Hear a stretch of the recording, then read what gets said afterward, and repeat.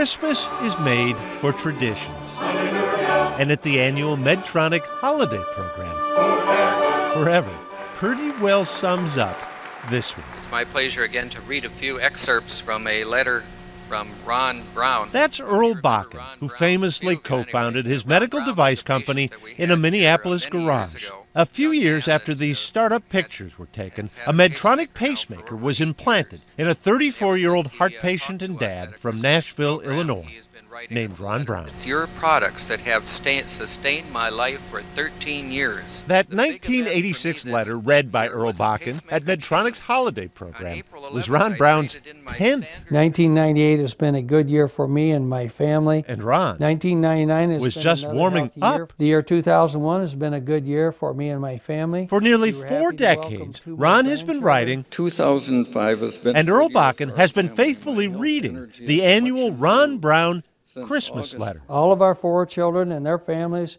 are well. I've heard 27 letters. He became part of the family. It's 38 letters. Greetings to you from Nashville, Illinois. One thank you letter would um, do for some, but not one Ron, I would have died. for whom these six Medtronic pacemakers High school graduation of a son. and a seventh and a still beating inside him A son graduate from college. each Uh, represent events in his life Two of my sons were married. he otherwise would have missed. And then there were grandchildren. He says, I ran another 10,000 meter run. I started looking forward to that letter to hear the update. And I retired after 33 years as a biology teacher. It's like we're growing old together. Together never had more meaning I had a close call. than the year Ron Brown's surgeon nearly implanted a pacemaker from another company. My heart sank and I was incredulous.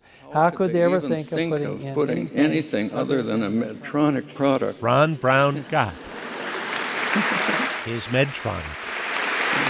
I didn't get to see their faces, but I knew I had a family that made a product that um, meant the world to me. Which brings us back to 2014, Aloha Kako from my home in Hawaii. with Earl Bakken now sending video greetings. Come on up, Ron. Who would be reading Ron Brown's letter?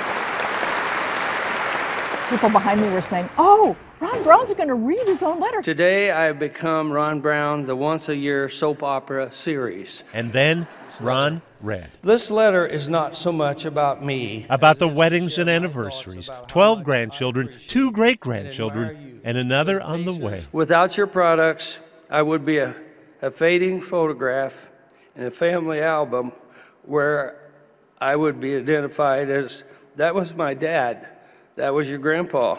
How can I say thanks? For the 38th Until time, December, Ron Brown God just bless you did. all. Sincerely, Ron Brown. The sort of thing that can happen Ron, can I get my picture taken with you? when one takes the time to write my gosh. from the heart. You're amazing.